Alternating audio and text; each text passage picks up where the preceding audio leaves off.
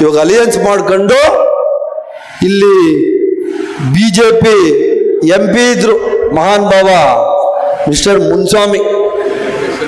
ಐದು ವರ್ಷ, ಐದು ವರ್ಷಗಳು ತನಗೆ ಸಿಕ್ಕಂತ ಅವಕಾಶವನ್ನ ಬರೀ ಜಾತಿ ರಾಜಕಾರಣ ಮಾಡಕ್ ಇಟ್ಕೊಬಿಟ್ಟು ಸೆಂಟ್ರಲಿಂದ ಫಂಡ್ಸ್ ತಂದಿಲ್ಲ ವರ್ಲ್ಡ್ ಬ್ಯಾಂಕಿಂದ ಫಂಡ್ಸ್ ತಂದಿಲ್ಲ ಯಾವುದೇ ರಾಜ್ಯದ ಕಾರ್ಯಕ್ರಮಗಳಿಗೆ ಒಂದು ರೂಪಾಯಿ ತರದಂತಹ ಯಾವ್ದಾದ್ರೂ ಒಬ್ಬ ಲೋಕಸಭಾ ಸದಸ್ಯ ಇದಿದ್ರೆ ಅದು ಕೋಲಾರದ ಕ್ಷೇತ್ರದ ಮುನ್ಸ್ವಾಮಿ ಅವರು ಅಂತ ಹೇಳಲಿಕ್ಕೆ ನನಗೆ ಇವತ್ತು ನಾಚಿಕೆ ಆಗ್ತದೆ.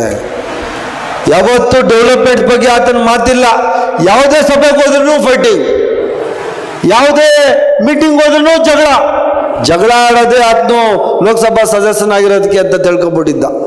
ಇವತ್ತು ಅಂತಹ ಸುವರ್ಣ ಅವಕಾಶ ಸಿಕ್ಕಿದ್ದಂಥದನ್ನ ಕಳೆಸಾರಿ ಹಲವಾರು ರಾಜಕೀಯ ಕಾರಣಗಳಿರ್ಬೋದು. ಮುನ್ಸ್ವಾಮಿಗೆ ನೀವು ಆಯ್ಕೆ ಮಾಡಿಕೊಟ್ಟಿರ್ಬೋದು. ಈ ಸರ್ತಿ ನೀವೆಲ್ಲ ಆ ಥರ ತಪ್ಪು ಮಾಡೋಕ್ಕೆ ಹೋಗ್ಬೇಡಿ.